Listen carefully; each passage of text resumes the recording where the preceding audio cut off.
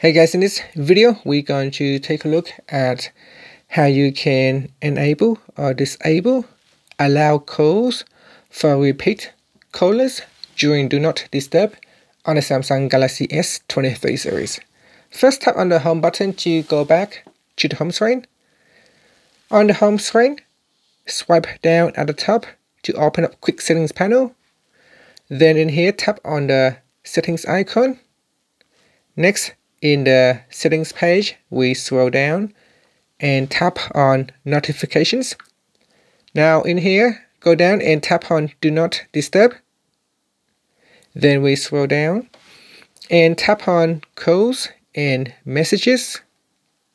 Next, tap on repeat callers. Tap on the toggle button to turn it on or switch it off. Now this feature will allow calls when they are received from the same phone number more than once within 15 minutes. So if someone tries to call you repeatedly within 15 minutes, the phone will allow that person to get through. Now you don't have to turn this feature on. If you don't like it, you can switch it off.